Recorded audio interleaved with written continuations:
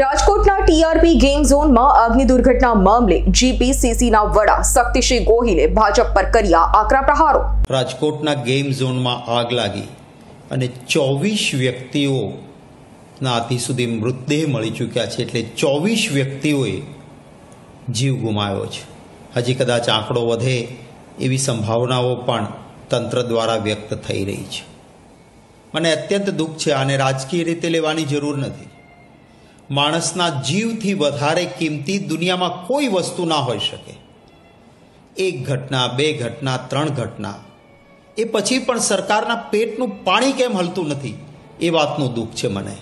નાના નાના ભૂલકાઓ જેનું ખૂબ લાંબુ ભવિષ્ય હોય. એવા બાળકો બળીને ખાખ થઈ ગયા.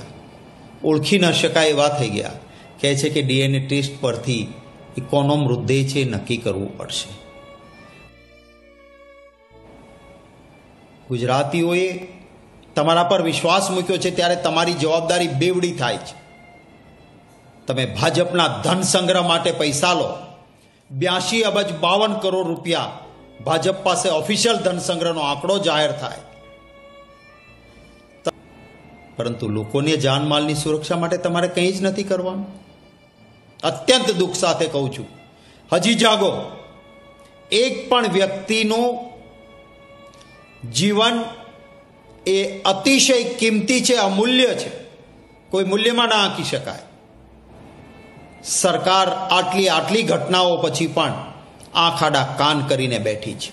હવે કહેશે, ઘોડા છૂટી ગયા પછી તબેલાને તાળા કે બધા જ ગેમ ઝોન બંધ કરી દો. હવે ફાયર સેફટી હશે, કાયદેસર ચાલતું છે એ બંધ કરશો થોડા દિવસ. પાછા હપ્તા લઈને ફરી પાછું એ જ ધંધો ચાલુ થશે. મહેરબાની કરીને એક જવાબદાર લોકશાહીની સરકાર તરીકે આ સરકાર વર્તે એવી આશા રાખું છું. અમારી તમામ માહિતીથી અપડેટ રહેવા માટે જોડાયેલા રહો એસ ન્યૂઝ સાથે.